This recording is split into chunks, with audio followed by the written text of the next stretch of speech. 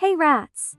Before this video starts, I just wanted to say thank you to Catastical Calamity for letting me post these production doodles and animation examples of how Flipli's Glow works. Here are some of the Flipli production doodles. This one here says that it has a scoot-like tail which does not move as it is part of the shell and the one below it shows the sketch of the shell which has a bit of lip where it connects to the body.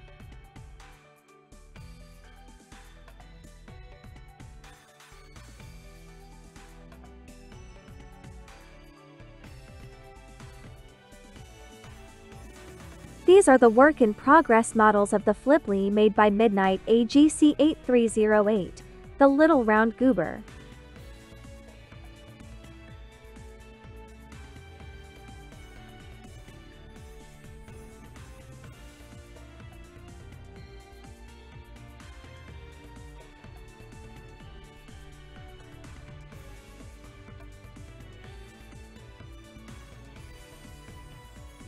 I'm sure that most of you are confused on how Flipli's Glow works so, here's some of the animation examples that Catastical had made for Flipli's glowing effects.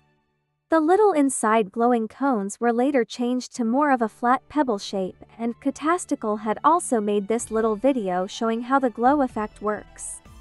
In-game, if you use the camera and zoom into a fully grown Flipli at the right angle, you will be able to see these little glow pebbles.